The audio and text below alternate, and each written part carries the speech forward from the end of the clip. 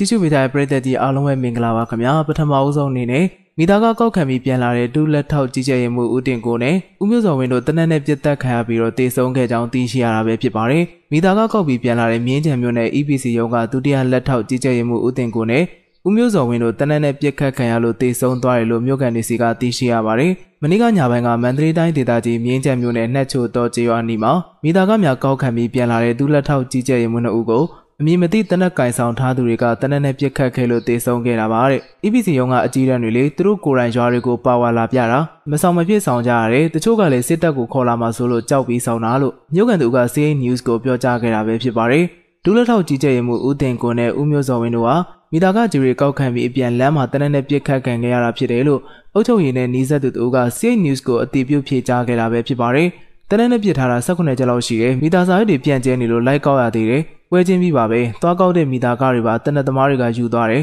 တေလဲတေပတ်စံလဲစုံလို့သူကပြောကြားခဲ့တာပါ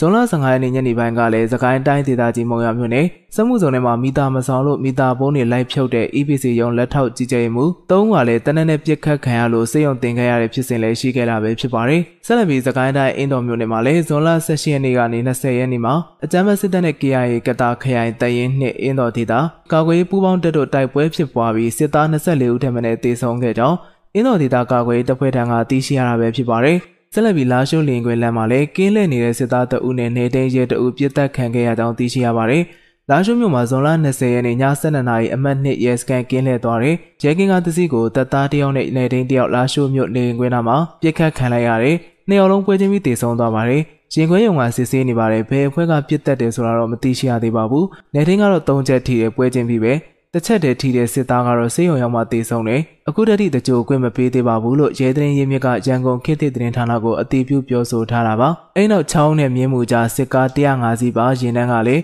မိုင်းဆွဲပစ်ခတ်တိုက်ခိုက်ခံရပြီးစစ်သား26ဦးတေဆုံးကမုံရမန္တလေးလမ်းပိုင်းမှာလည်းစစ်ရင်နဲ့မိုင်းဆွဲခံရပြီးတော့အများအပြားတေဆုံးနိုင်ကြောင်းသိရှိရတာပဲဖြစ်ပါတယ်။စစ်ကား150စီးကိုကျွန်တော်တို့နေရီကန်နာမှာတိုက်ခိုက်တာပေါ့။ တိုက်ခိုက်တဲ့နေရာမှာမိုင်းတဲပြောင်းသုံးလုံးနဲ့အရင်ပြစ်တယ်။မိုင်းသုံးလုံးထပ်ခွဲတယ်။မိုင်းတဲပြောင်းသုံးလုံးနဲ့အရင်ပြစ်တဲ့နေရာမှာအရင်ဆုံးထွက်လာတဲ့ရှေ့ပြေးကပေါ့ရှေ့ပြေးက၃စီးရှိတဲ့နေရာမှာနှစ်စီးကိုကောင်းကောင်းထိမှန်သွားတယ်။နောက်ထပ်တက်လာတဲ့အချိန်မှာနောက်ထပ်ကားကိုမိုင်းထပ်ခွဲလိုက်တော့ကား၃စီးကိုထပ်ပြီးတော့ထိမှန်တယ်။ခွေးသေးစင်းကတော့စုစုပေါင်း26កောင်လောက်ရှိမယ်။ ဒဏ်ရာရတာ15កောင်လောက်ရှိမယ်လို့ဘိုနီတို Special Guerrilla Force တပ်ဖွဲ့ထံကပြောရေးဆိုခွင့်ရှိသူဘိုနီတိုကရန်ကုန်ခေတ်သစ်မီဒီယာကိုပြောဆိုထားတာပဲဖြစ်ပါတယ်။ထိုနည်းသူမုံရမန္တလေးလမ်းပိုင်းမှာလည်းမုံရကထွက်ခါလာတဲ့စစ်ကား58စီးပါမြေနေနီးနဲ့ခင်မွန်ချောင်းကြားမှာဒေသခံကာကွယ်တပ်ဖွဲ့များကဇွန်လ21ရက်နေ့မိုးလဲပိုင်းမှာမိုင်းဆွဲတိုက်ခိုက်ခဲ့ပြီးစစ်သား20ဦးထက်မနည်းသေဆုံးခဲ့ကြောင်း PDF ဆောက်မုံရတပ်ဖွဲ့ထံမှအသိရှိရတာပဲဖြစ်ပါတယ်။မြေနေနီးမှာစစ်တပ်ရေနံကိုဒေသခံကာကွယ်တပ်ဖွဲ့ကဘုံနှလုံးဆင့်3လုံးဖြင့်တပြိုင်တည်းဖောက်ခွဲတိုက်ခိုက်ခဲ့ပြီးစစ်သား2ဦးသေဆုံးခဲ့က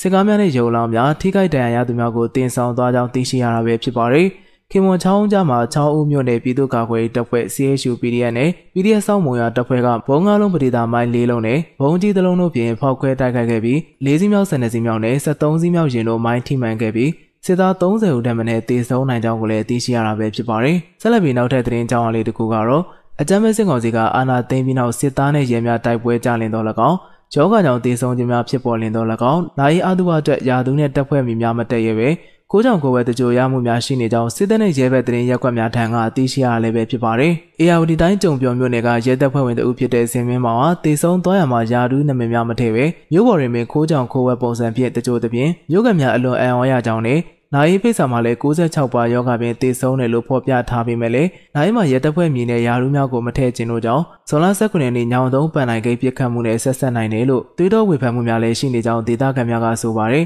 စင်မင်းမောင်ကရဲရဲရောက်နေတာမြို့ကန်တွေကတီးကြတယ်16ရက်နေ့မှာဆုံးတယ်19ရက်နေ့မြို့မှာပြန်တကြိုတယ်ဒါပေမဲ့နိုင်ဖိတ်စာမှာရောရက်တောင်မှာရောရဲဆိုတာလည်းမထည့်ဘူး တေတာကလည်းအကောင်းကြီးကနေရုတ်တရက်တေတာလို့နားလေတော့နောက်ပြီးညောင်တုံးပန်နိုင်ကိတ်မှာပြစ်ခတ်မှုကလည်းဖြစ်တော့အဲ့ဒါနဲ့ဆက်ဆက်သလားဆိုပြီးဝေဖန်တာပေါ့ငရုတ်ကောင်းစေးုံမှာ၃ရက်တက်ပြီးဒီတိုင်းဆုံးတယ်လို့လည်းသူ့ဆွေမျိုးတွေဘက်ကပြောပေမဲ့တေသွားတဲ့နိုင်ရေးကြောင့်ညမှာရဲလို့မထည့်တာကြောင့်အားလုံးကတန်တရားဖြစ်ကုန်ကြတာရဲတွေဘွားကတေတာတော့ခိုးကြောင်ခိုးဝဲလို့ဖြစ်နေပြီလို့ကြုံပြောဒေသခံတအူကပြောကြားခဲ့တာပဲဖြစ်ပါတယ် ဇွန်လ19ရက်နေ့ရန်ကုန်ညောင်တုံးပန်နိုင်ကိမှာစစ်တပ်နဲ့ရဲအပြန်အလှန်ပစ်ခတ်တဲ့အတွက်ကြောင့်ရဲတုံးနဲ့စစ်သားတို့ဦးသေဆုံးပြီးတပ်နဲ့ရဲတပ်ဖွဲ့ဝင်6ဦးဖမ်းခံထားရကဒဏ်ရာရရှိသူများလည်းရှိကြောင်းသိရှိရတာပါဒီသတင်းကြောင့်လေးကတော့ဒီလောက်ပါပဲခင်ဗျအားလုံးပဲကိုစိတ်နှပြကျမ်းမာရှင်လန်းကြပါစေ